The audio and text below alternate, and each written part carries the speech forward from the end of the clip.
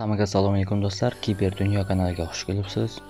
Do'stlar, hozirgi kunda O'zbekistonda e, TikTok bloklanganligi tufayli TikTok yaxshi ishlamayapti. Sezgan bo'lsangiz kerak. Xabaringiz ham bo'lsa kerak.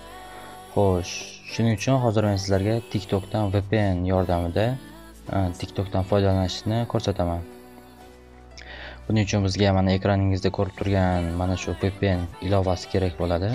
Ushbu ilovani siz telegramdagi kiber dunyo nomli kanalimdan olishingiz mumkin. Ilovani yuklab olish uchun ssilkani video opsiyaniyasida qoldiraman. Bemalol o'tib yuklab olishingiz mumkin. Demak ilovani ishlatish uchun vpn dasturiga kiramiz.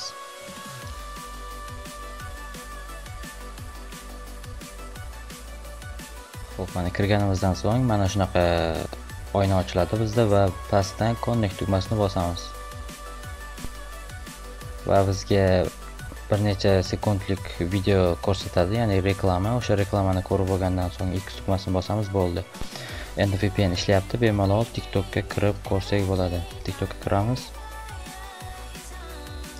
Hozir internet ham bizda sekinroq shuning uchun ozgina yaxshi ishlamayapti.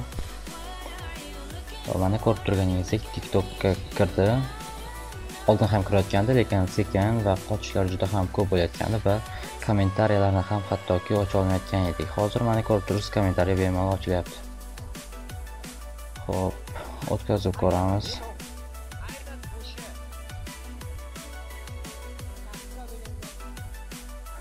Demak mana do'stlar bugungi videomiz shundan iborat edi. Menimcha sizga foydasi tegdi degan umiddaman.